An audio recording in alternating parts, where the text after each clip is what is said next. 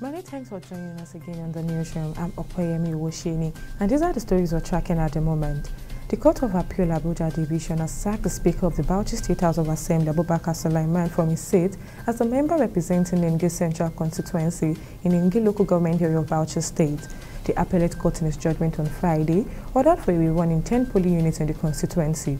Independent National Electoral Commission's returning officer Shuaibu Mohammed had declared him the winner of the Ningi Central Constituency election held on March 18th after he defeated Khalid Abu Abdulmalik Ningi of the All Progressive Congress APC and Dalami Barao of the New Nigerian People's Party NNPP.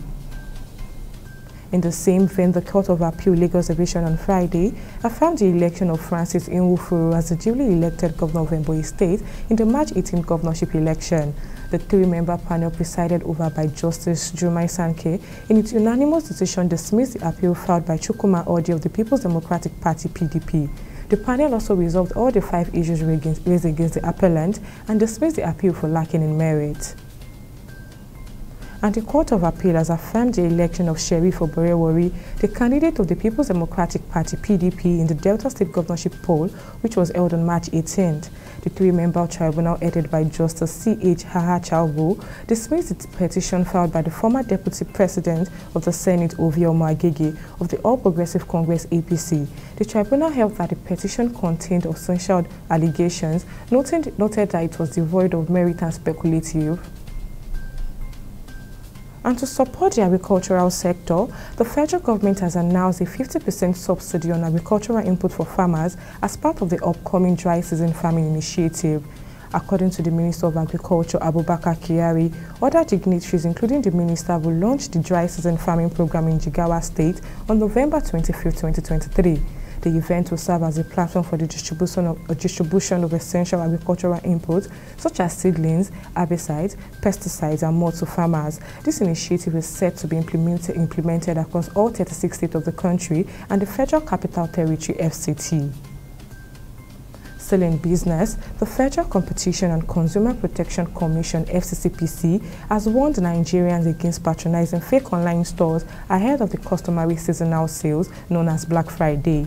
Babatunde Irukera, Executive Chairman and Chief Executive Officer of FCCPC, disclosed this in an advisory statement on Thursday.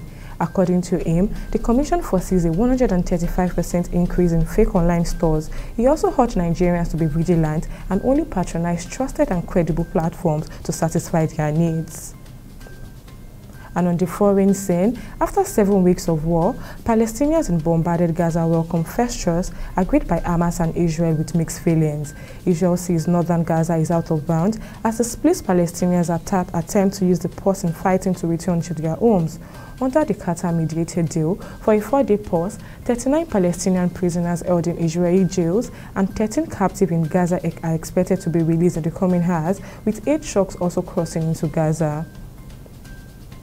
And finally, in sports, French police on Friday det detained Algerian international Youssef Attal, who plays for Ligue 1 football side Nice, in a probe into suspected justification of terrorism after he published a social media post on the Israel-Hamas war.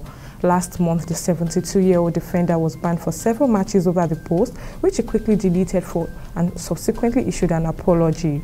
Attal has also been suspended by his club until further notice. And that's all on the news, Many thanks for joining us. I'm Okpayemi Owoshini. Bye for now.